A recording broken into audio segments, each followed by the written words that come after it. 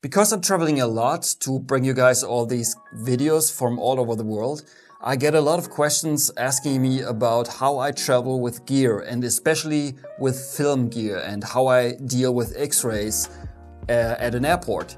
And this video is going to address that.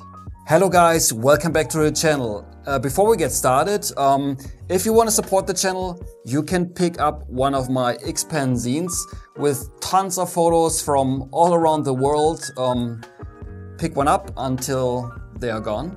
There are not that many left.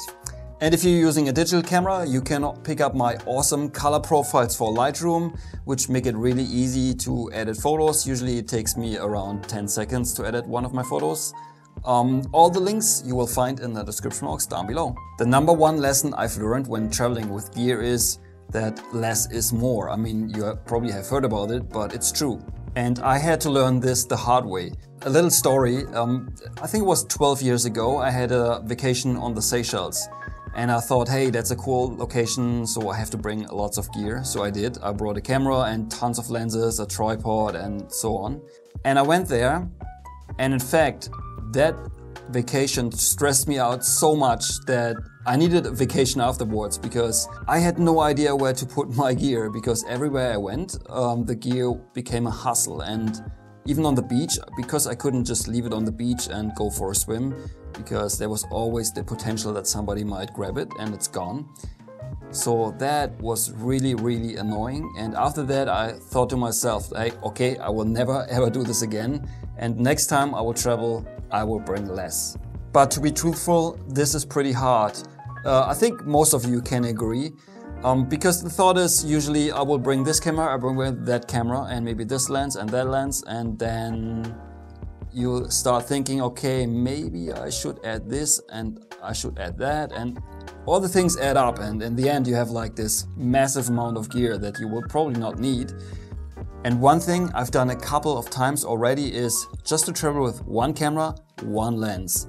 And if it's a digital camera, of course, a couple of spare batteries. And if it's a film camera, a couple of films. And that's about it. And that was so nice to travel so light because every time I went out, I, there was no need to think about what camera to bring or what lens because I only had one camera, one lens. That was about it. And I only had one film stock. So it became really easy. I grabbed a couple of films, went out and shot. That was so nice and I didn't even bother to bring a bag when I went out. So that was really, really nice and I highly suggest try this out. It's really good and um, it makes traveling so much easier. Now, you packed all your gear and you're ready to go. Usually, if you're flying somewhere, you go to the airport and then the question comes, do you check your bag or not? And I highly suggest never ever check your camera gear, never ever. Um, even though they will tell you, oh, it's fine, it won't be.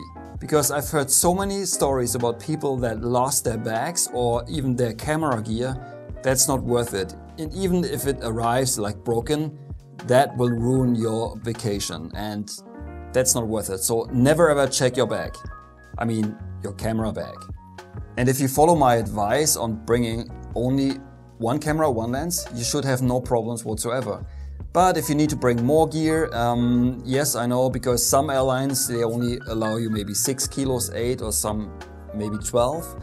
Some airlines don't care at all, they never weigh it, but some they do, and then you might be in trouble because sometimes the camera bag itself, it might already weigh 3 kilograms and there's not much left for your gear. But one tip I can give you is uh, if they ask you, let them know that there's a computer inside, a laptop, batteries, uh, power banks, and stuff like that, because that stuff cannot be checked. So it's less likely that they will force you to check your bag. Even though you might have to talk to them for a bit, but usually this works out pretty well. Oh, and make sure to always stay polite and calm, because this will help you out in the long run, that's for sure. Now, you packed your bag, you went to the counter, so your bag is now carry-on luggage, and now comes the security check. And when it comes to security check, most of you that shoot film want to know how I deal with x-ray machines at the airport because a lot of you are very concerned uh, about having their film ruined by some x-ray machines. Let me tell you, when I started out shooting film, I had no idea that uh, X-rays can have an effect on film. So I had everything in my bag and I just let it go through the machine and I didn't worry at all. After some time, somebody told me, oh yeah, are you not worried about the X-ray machines? Because they can harm your film. And I was like, holy shit, what am I going to do? Because I've shot a lot of films, like even pushed ones. And I was really worried that the film might be ruined. But after developing, I had no problems. I could not see any effect whatsoever.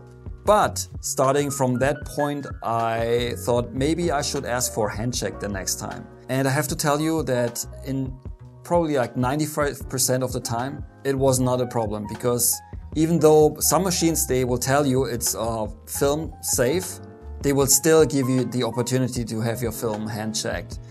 Except, yeah, there was this one instance when I went to Russia and I went to the airport and uh, I asked for hand check and the lady was very like old lady and she said to me, Niet! And I tried to explain to her in English, but her English was very poor, so she couldn't understand. So I had to put the film through the machine, but after all, there was no issue whatsoever. Just recently, I came back from Turkey, and at the new airport in Istanbul, they want you to, um, if you enter the airport, you have to uh, put your stuff through an X-ray machine, and also the second time at the security check. And I asked them both times for a handshake. And even though there was a sticker on the machine telling me that it's uh, safe for film, I still asked them and it wasn't a problem. Uh, they were a little hesitant in the beginning, but then no problem at all. So I had them hand check the film. And what I usually do is, let me get my bag, is um, I use mostly, if I fly and I only bring carry-on, I will uh, bring my trusty Billingham bag. It's very lightweight, so it's perfect for traveling with gear, especially if you're flying.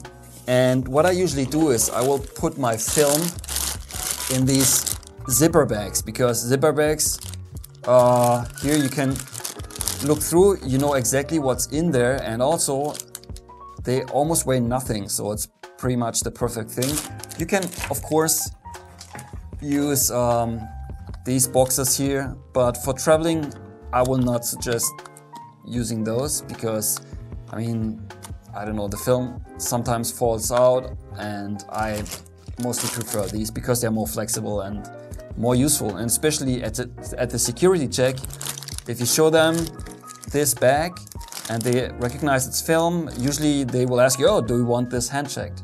So this works out pretty well. So I highly suggest using zipper bags. Okay guys, while editing the video, I had this idea and the idea is, because I have a lot of traveling lined up for this year, I want to bring this roll of uh, T-Max P3200 and I will put it in my carry-on bag and I will have it go through the X-ray machine every time I fly. And after a couple of trips, I will shoot the roll, develop it, and then we will find out if X-ray machines will have an effect. I have no idea what to expect, so yeah, let's wait for the results later this year. And what you can also do is when you uh, travel with film like I do and you shoot a lot of film is just pick your film up locally. What I usually do is I bring a bunch of films, but if I know um, the location where I'm going to, I can find film there easily. That's what I usually do. I pick up film locally. Just on my last trip to Istanbul, I bought a, lot of films there.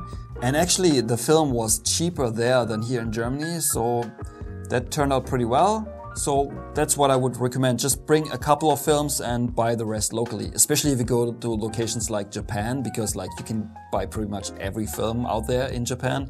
So I would highly suggest buying your film locally. Okay, you packed your gear, you went to the airport, um, you brought your gear as a carry-on, you went through a security check. You should be fine, right? Uh, yes and no, because there's one thing that can happen, still can happen to you and that is at the gate. You know, sometimes um, the flight is so full and packed with people, and a lot of them have big carry on bags. And sometimes they ask you to still check your bag because there's not enough room in the overhead compartments.